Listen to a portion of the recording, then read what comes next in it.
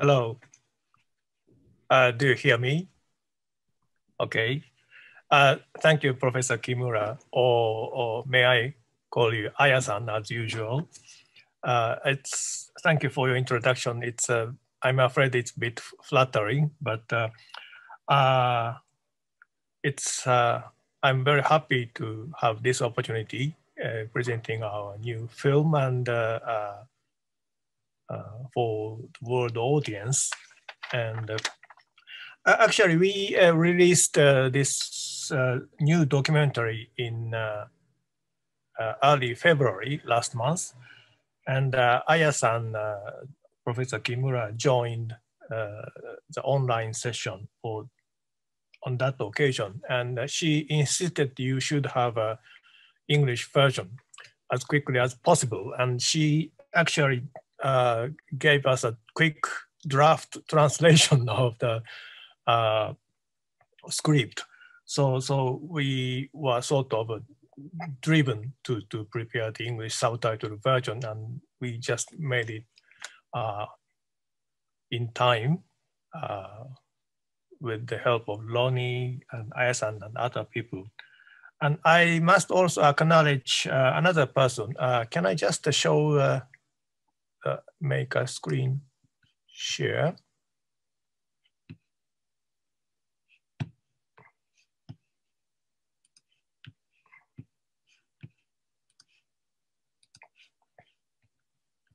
Is it going?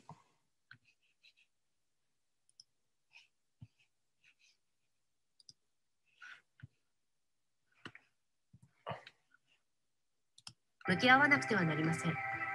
Yeah, uh, at the end of the, the end roll of the film we've just seen, uh, the film filming director Matsumoto Hikaru, uh, Hikaru-kun, uh, he is a young member of the, the Friend of the Earth International Japan and he's been doing all the field work for this film and uh, filming and editing and he was very very dedicated person to make this uh, work uh, coming out uh, and unfortunately he's not with us he, here today uh, he's in, i think he's in fukushima right now but uh, so i just acknowledge him and i also want to show a couple of uh, website addresses. Uh, hang on.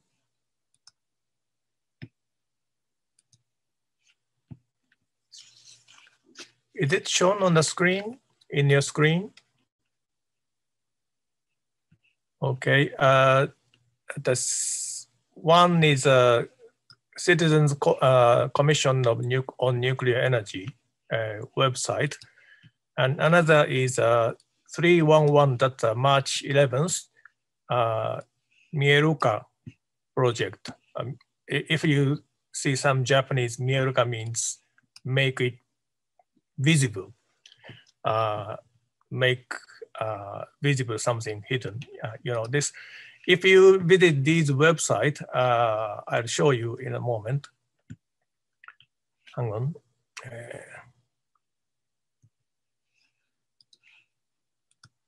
Uh,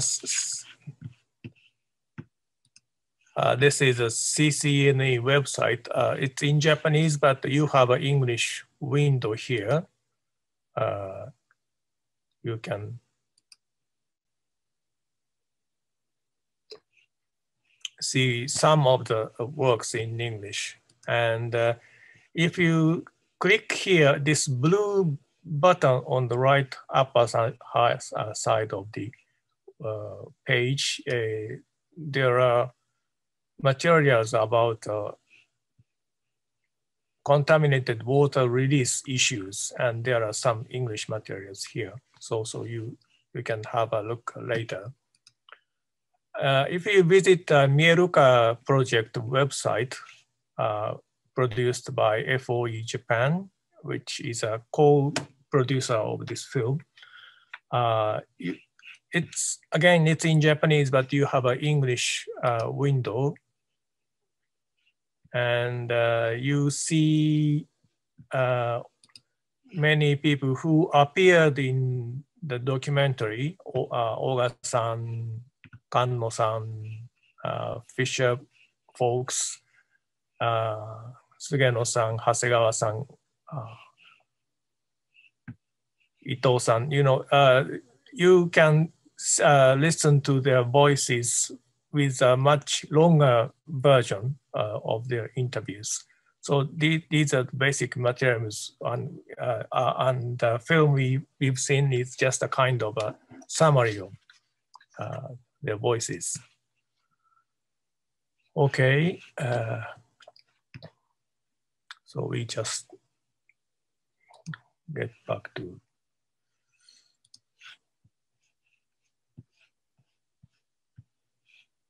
uh, how do I stop this? Okay. Uh, we in the film we made some comparison with the Chernobyl accident, and uh, well, there are many common uh, points uh, between Fukushima and Chernobyl. For example, it's a very extremely long time is necessary to settle the issue, and it takes a huge manpower, uh, huge money. So these are common things, but uh, the big difference uh, between Fukushima and Chernobyl is uh, Fukushima has the sea, while Chernobyl doesn't.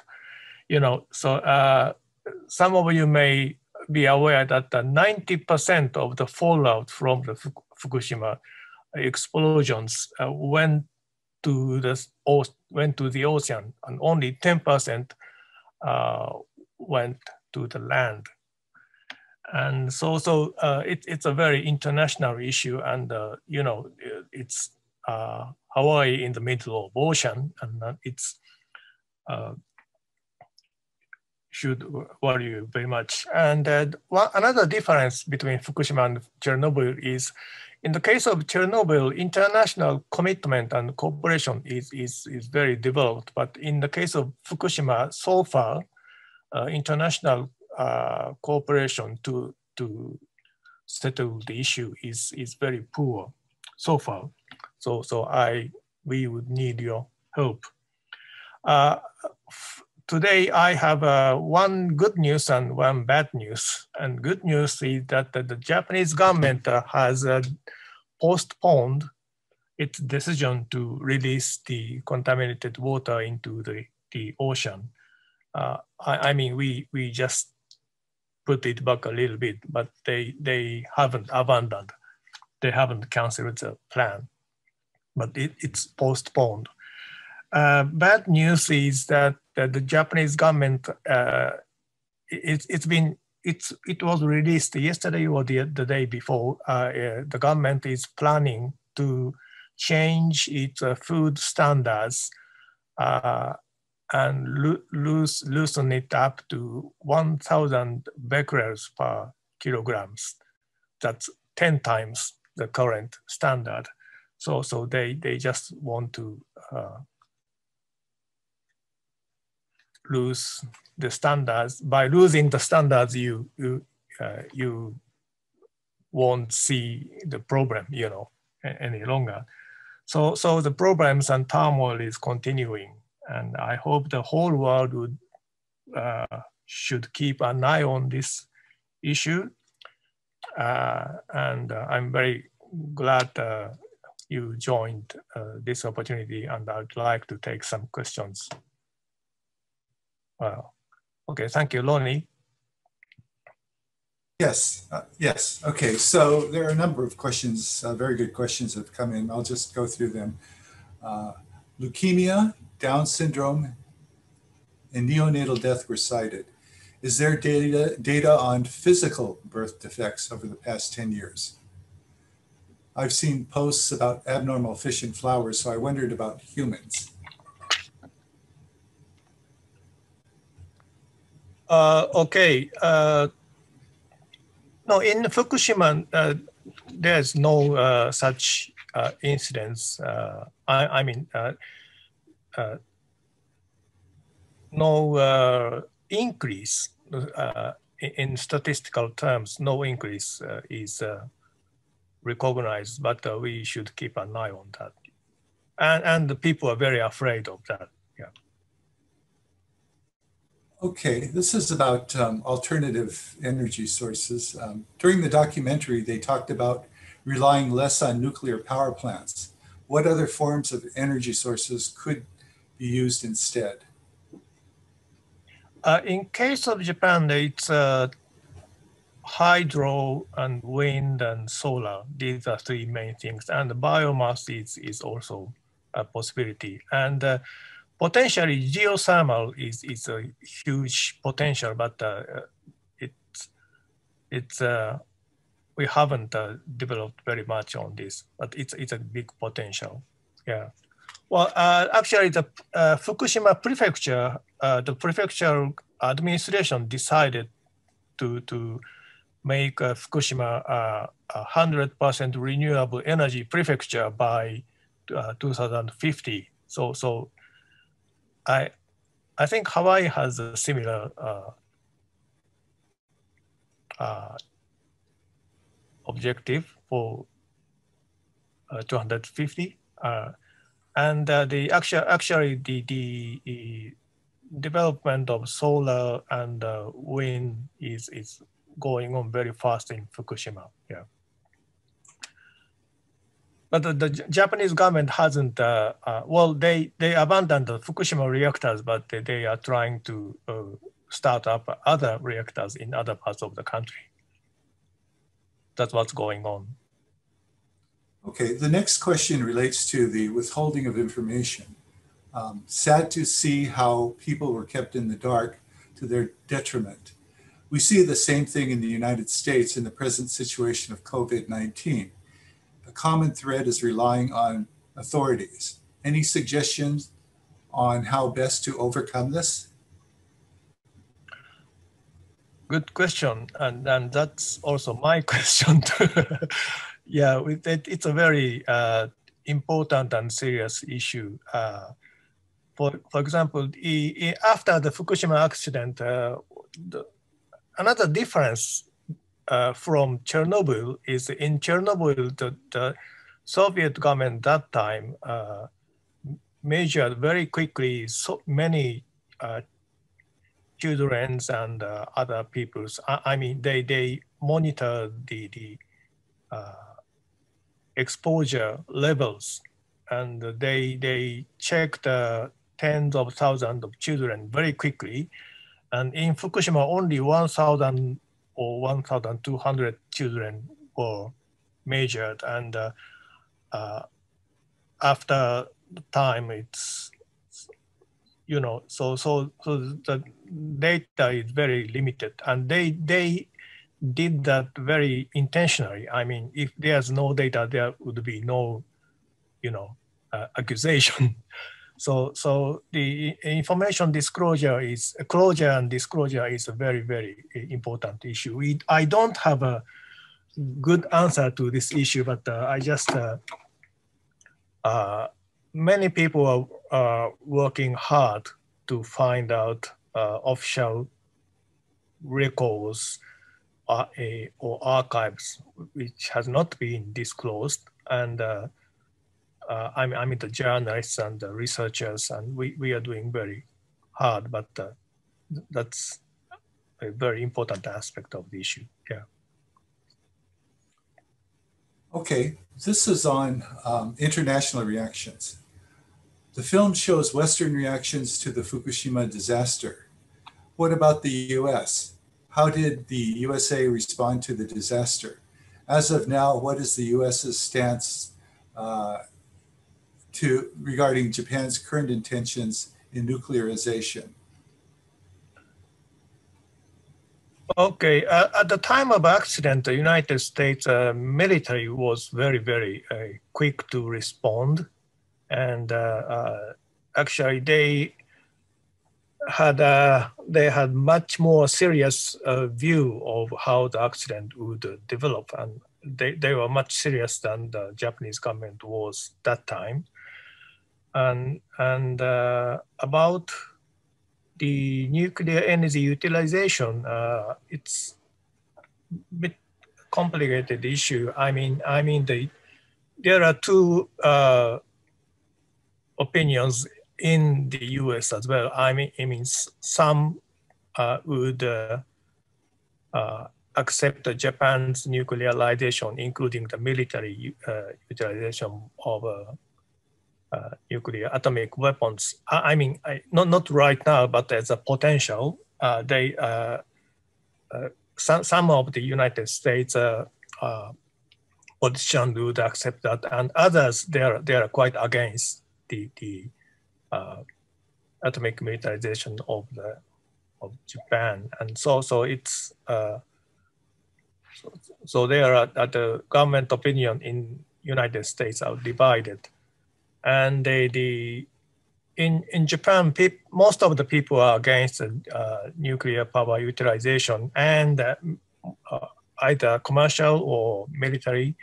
But there, there are a division of opinions among the government. Some people are very keen to maintain the uh, military potential of atomic utilization. So, so it's a very another serious issue we have. Okay on evacuees. Were the evacuees just moved all over the country?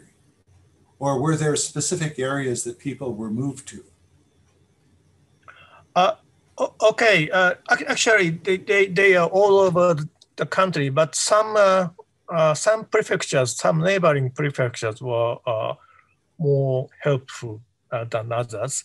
So, so quite a number of evacuees are in Yamagata, Niigata, uh, Tokyo, uh, some, uh, some western prefectures, but uh, uh, they are all over the country, including Okinawa and overseas.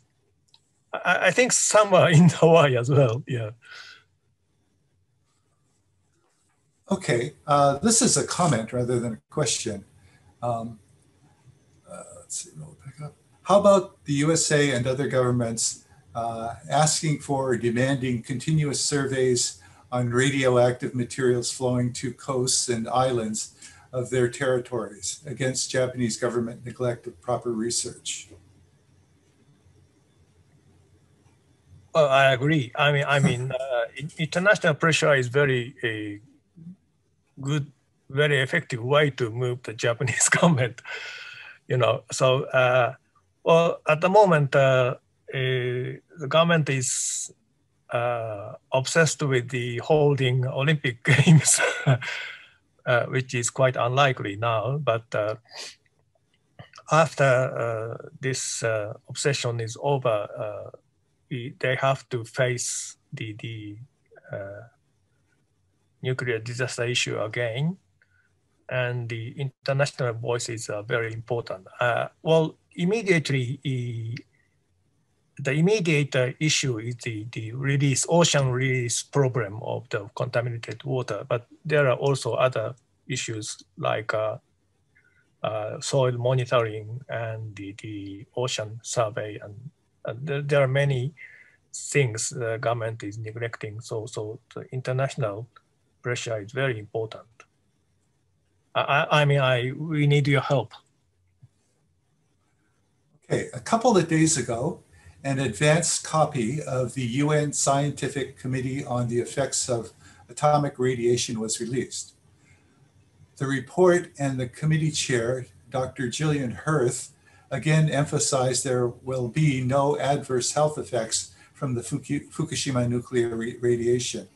What do you think of the report, which has been released since 2013? Any comments on the uh, UNSCEAR studies? Yeah, yes, we saw that uh, report and it's been reported in Japan as well. Uh, uh, basically, they are based on the very limited data. Uh, as I mentioned, they, the, the number of the children uh, monitored immediately after the accident was very limited. I mean, uh, less than 2,000 children were measured for their thyroid exposures. So, so uh, if, if you, uh, you can say anything with a very limited number of data. Uh, and uh, we should look at the what actually happening. We, we have a, quite a large number of uh, thyroid cancer cases. And there's no other explanation other than uh, uh, nuclear accident. Why why such uh, spike is uh, taking place? Okay. You said Hawaii should be worried about the situation. We get zero coverage on Fukushima radiation affecting Hawaii here. What can you tell us about it, and what are the good ways uh, that we in Hawaii uh, can investigate this further? Uh, I'm not saying that Hawaii is in immediate danger. Uh, I'm not saying that, but uh, you know, uh, ocean is is between us, and this this is a very very uh, invaluable resource that connect us together. And uh, if we if we uh, can avoid the release of radioactivity or whatever the, any contamination we should avoid. Uh, I mean, if we can avoid. And in case of the Fukushima uh, contaminated water, there are uh, uh practical engineering measures to avoid uh, release. Uh, I mean, I mean, there are alternative ways to handling stuff. So, so that's what I'm saying. Okay. Um, you kind of started to answer this question already. It's related to the, the previous one, but um, well, first off, outstanding presentation and amazing film, Dr. Hosokawa. Uh, what do we know about the spread of radiation into the ocean and on beyond to Hawaii, North America? Seems to me this would be an, alarming enough for people around the world to give more attention to the Fukushima disaster. Uh, well, you know, the, the United States uh, uh, Navy and other uh, official institutions are doing very much monitoring and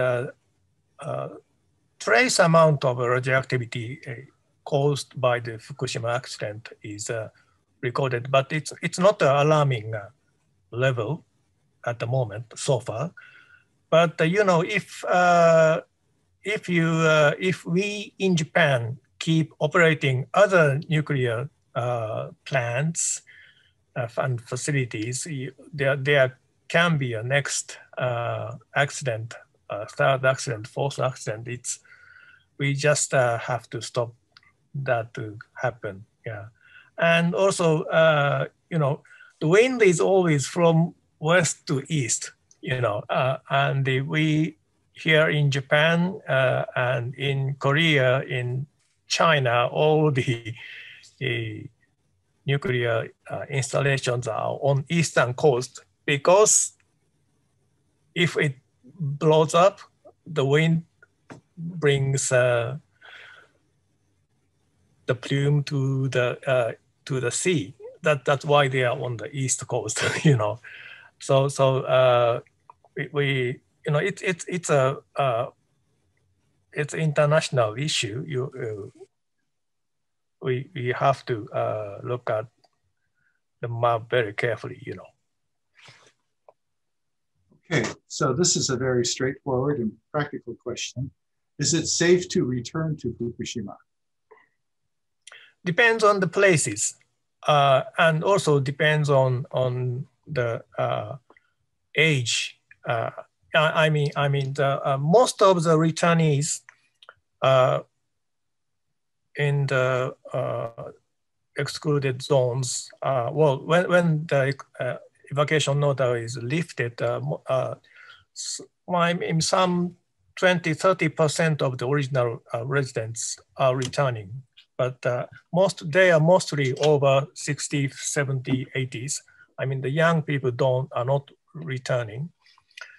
Uh, well, I, I mean, uh, not all the places are dangerous. I, I mean, uh, you could uh, uh, return and uh, have a fairly safe life, but still you have hot spots everywhere and you have to be very careful. And the, if you don't like to live in that manner, you I, I, actually many people uh, don't like to live that way. So so uh, many of them are still outside their hometowns uh, despite the lifting of the evacuation order. So so and I, I well personally I don't recommend to return, but uh, uh, if you have a you have to return, they have to be very careful about how to live in such environment.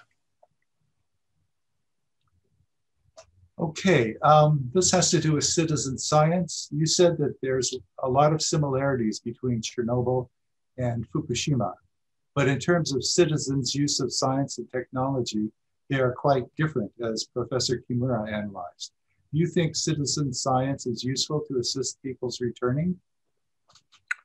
Uh, yeah, I think so. Yeah, I, I mean, uh, if if you uh, when you return to your hometown, uh, you you should not uh, believe what the authorities says.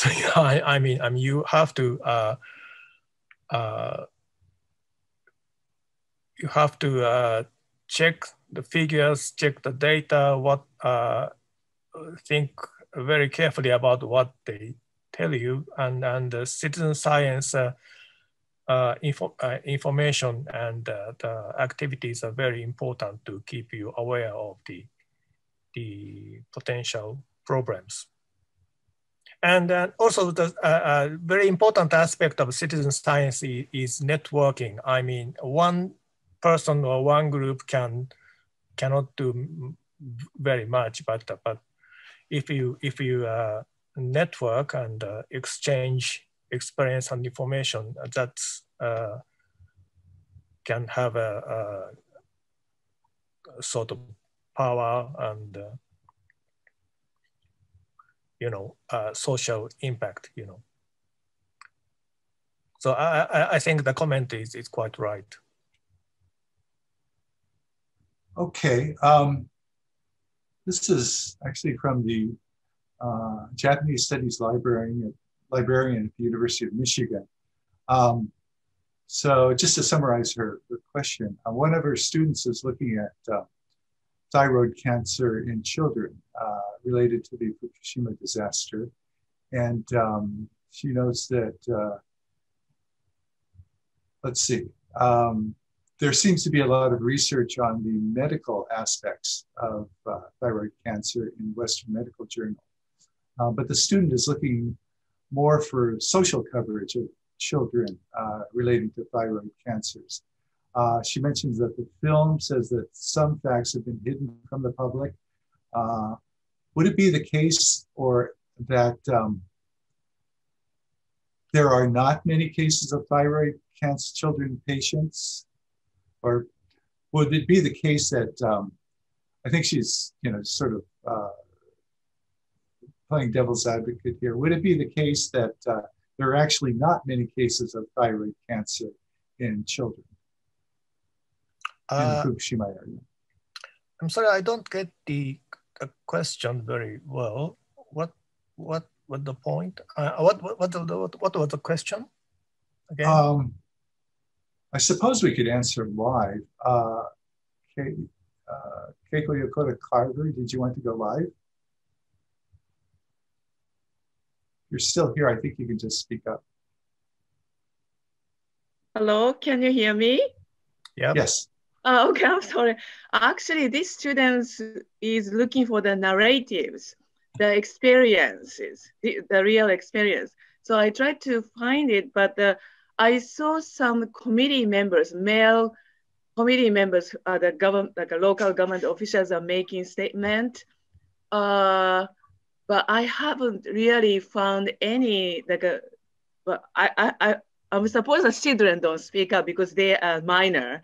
Uh, but even the parents, I haven't really seen any document, uh, documentary uh, narratives in YouTube and things like this. So is it prohibit like is a government local government pressure that these people don't speak up or uh, just uh, the local government try to hide the facts from my ex, like from like according to what you said. So, uh, are they trying to? Uh, yeah, yeah, I, I got the point. Yes. Uh, well, uh, there are.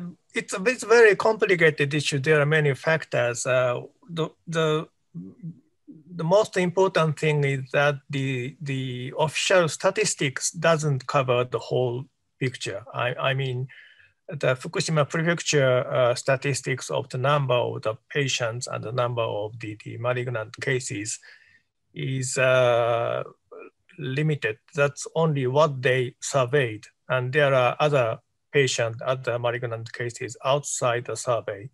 And uh, they only uh, research in Fukushima. And there are um, many other parts of uh, the country eh, which has a uh, serious uh, contamination and thyroid cancer cases among children, not only among children, but also the uh, young adults, like 20, 30 years old people.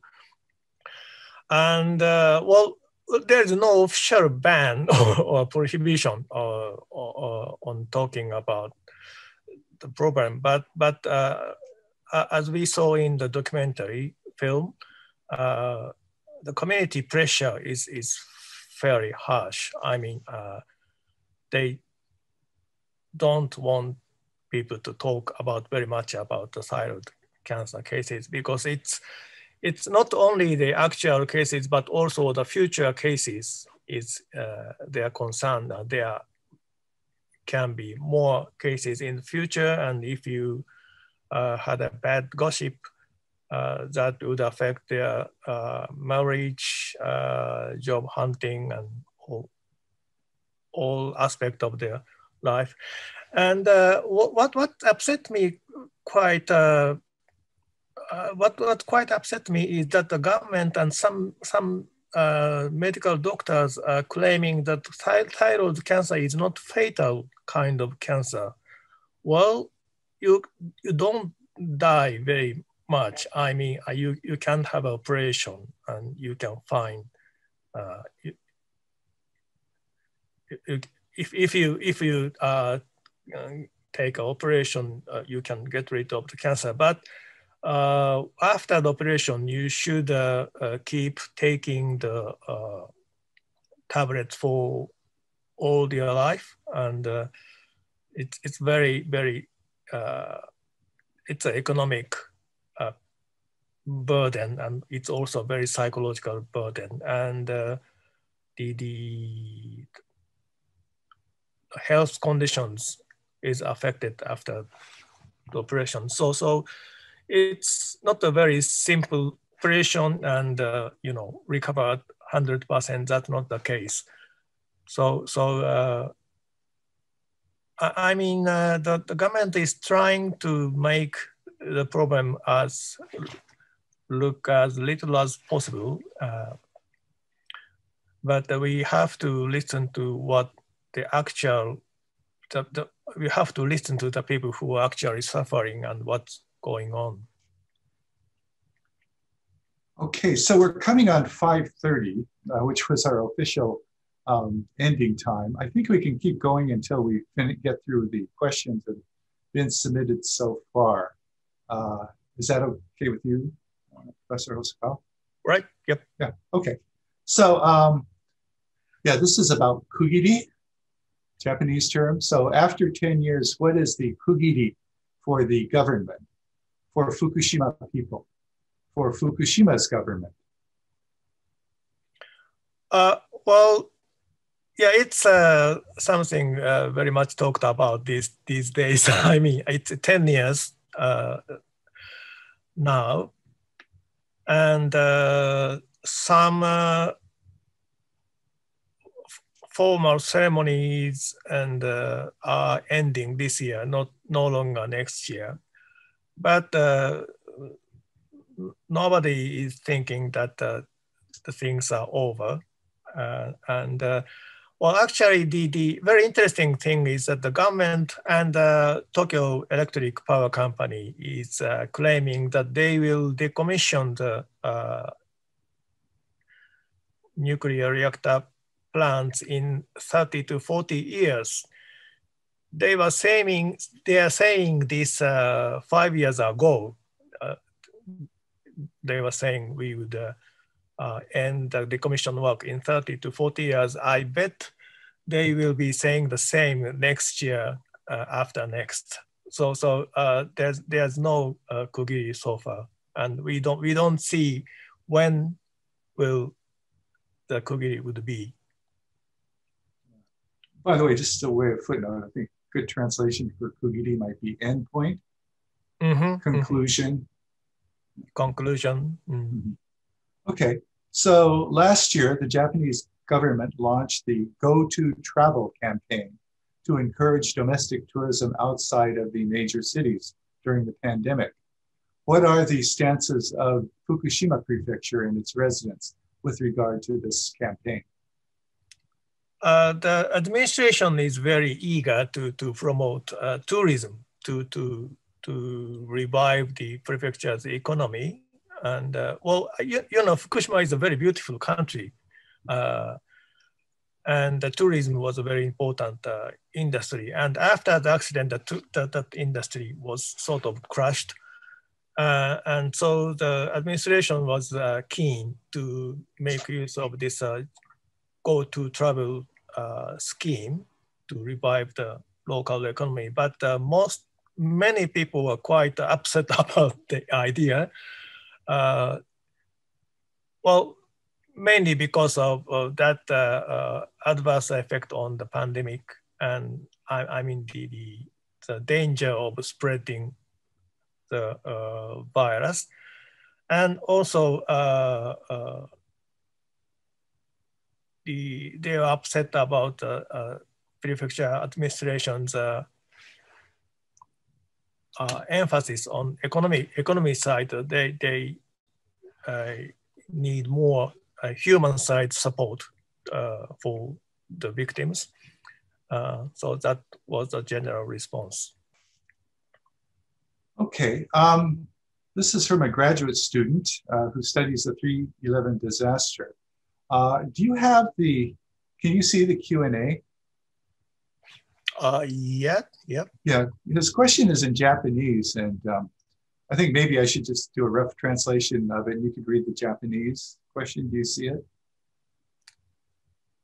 Uh, is that uh, Tokikake-san? Yeah, uh, oh, E. All right. Tokikake E. Yeah, I'm looking at the. Okay, and I'll in the meantime, I'll just try to translate as best I can the question into English. So, um, oh yeah, uh, yeah. Can, can you just uh, summarize the point of the question? Yeah. So basically, it's saying that the um, population structure uh, of um, the evacuation areas is changing because um, you know uh, people not wanting to come back and um, uh, let's see. I hope I'm getting this right, um, and so on. Mm-hmm. And uh, nevertheless, the government, the national government's um, policy of returning, uh, encouraging return to the evacuating areas, evacuation areas is continuing. Um, what do you think about that? I guess it's a very rough translation of, mm-hmm. what he's asking. Okay. Uh, uh, there are two issues. One is uh, will will the original resident uh, return in future? That's one thing. And uh, another thing is uh, what would be the future population uh, composition of the uh, towns in the evacuation zones. Uh, actually, the the nuclear power station in the middle of the decommissioning work, uh, they and it takes, uh, I'm, I'm sure they will take more than 40 years. They will take uh, 60, 50 or more years to come. And that means uh, they will use some huge manpower. I mean, so the labor population would be big.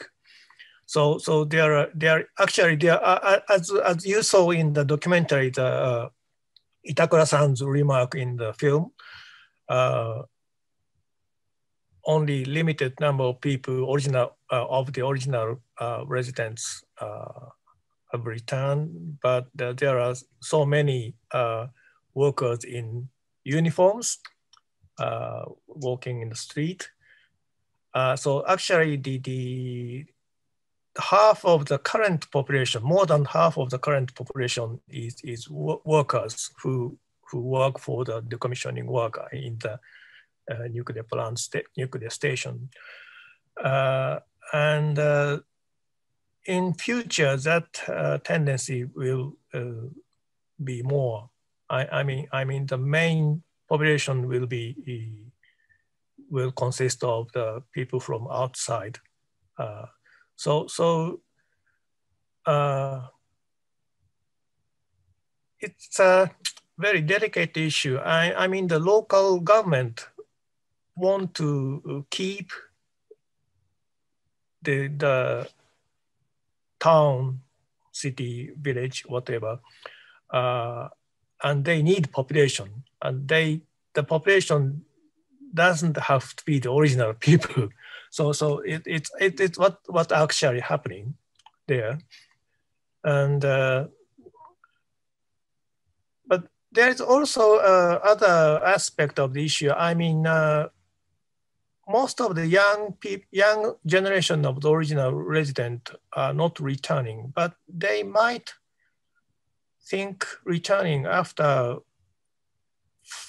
30, 40, 50 years. I mean, when they retire, they might choose uh, Fukushima as their retiring home. I mean, I, they, they want to uh, live and rare child uh, outside the, their hometown, but they might think of returning to the original towns. Uh, so, so it's a long, that will be a long story and it can't happen. Okay, this uh, is about the UN uh, report that we talked about earlier, but coming at the, um, you know, the issue from a slightly different angle. So the report says the report concluded that the increases in Fukushima thyroid cases are the result of more sensitive tests, not the result of increases in radiation. Is this a correct interpretation of the report, or do you think the report is incorrect? Uh, I don't think so. I, I mean, the, the, the, there is an increase by uh, much testing, uh, but it, uh, that, that increase would be maybe 10% or 20% of, of the total number of found uh, of thyroid cancer cases. Uh, it, it's uh, it's medically impossible to, to interpret that all the, the increase is because of the uh, testing. Okay, another pretty straightforward question. Would you eat vegetables, rice, seafood, and so on from Fukushima or the waters off the prefecture? Uh, well, I'm eating actually. I'm not a young man. Uh, I, I, I don't uh, uh let our children eat them. I, I, I do eat them. Yeah. Okay, and uh, finally, I, I mean, I mean the, the most of the uh, Fukushima uh, products uh, through market is tested very uh, thoroughly and uh, there is no immediate danger. But there are uh, some uh, stuff like mushrooms and wild plants which which go outside the market. I mean, I mean there, there are internet trading, you know, and there are also personal hunting. Uh, so so uh, but the market food is is fairly safe now. Uh, but uh, you know the one problem in Japan is they set a standard like a hundred becquerels per kilo, and some cooperative unions set a stricter standards like 50 uh, and fishermen's union set uh, 25 becquerels. So, so, so it's very uh, strict uh, control is going on. But, but the problem is they don't, the, I mean, the government does not allow uh, how much becquerels were actually there. I mean, if, if it's lower than 100, uh, governments uh, allowed to say it's below 100, but it, it, they don't allow how much was it? Uh, it was it the 10? Was it 50? Was it uh, 89? You know, uh, it's suppressed. Uh, so so that's what's happening. So uh, I, I mean, the, it's not transparent. I, I, I think the transparency is very uh, important. Okay, the last question kind of connects directly into what you were um, discussing. So how do people measure whether seafood is good to eat or not due to the radiation from the nuclear power plant? So how do you how do you measure uh, what, what, radiation? What, sorry, what do you mean? How do you measure? Uh, how how do people measure whether seafood is good to eat or not? How do you measure the radiation? Oh, uh, let's say if uh, you're concerned mean, about the levels. Well, you know, Chernobyl standard is, is uh, something around uh, 25, 30. And well, I would recommend uh, less than five becquerels per kilo, but it's my personal recommendation. And uh, Chernobyl standard would be 25, 30, around that. Uh, and the, the Fukushima Fishery Union set the 25 uh, becquerels per kilo. Uh, you know, that that's, I mean, very kind of a practical and uh, reasonable level. Um, but you know the government is trying to uh, lose it to, to 1,000 becquerels, which happens to be the equal uh, the same as the uh, milk uh, standard at the, in Moscow in Chernobyl time. You know that's that that's. Uh, I'm very mad to hear that. Know. Well, I think the question was, um, you know, if you were, if you wanted to measure the radiation in seafood or whatever, how would you do it? What instruments would you use? Uh, well, the Fukushima fishery unions were using uh, uh, isotope detector, uh, not not the uh, not the Geiger counter. It's uh, they. I, I mean, you you you can't you can't measure the same stuff as you eat. I mean, you you just get one sample and uh, cut cut cut all the fish in small pieces and put in the container and uh, uh, put in the detector. And you, you can't eat that sample. You, you eat uh, other uh, fish caught in the same catch, you know. So that, that's what they are doing. Okay. Well, that was the last question. Um, I'd like to uh, thank Professor Hosokawa for um, so carefully and thoughtfully answering all the questions, and of course for um, bringing about your your documentary in the first place. I think, I, on behalf of the audience, I think I can say that uh, we found it all most informative, and certainly appreciate your your work. Um, for those of you who are still here, I might note that um, PARC has kindly uh, given us a copy of the film, and this will be made available to UH faculty and students um, in the uh, library system. So you can stream it yourself as long as you, you have a UH ID card. And, uh, we want to thank you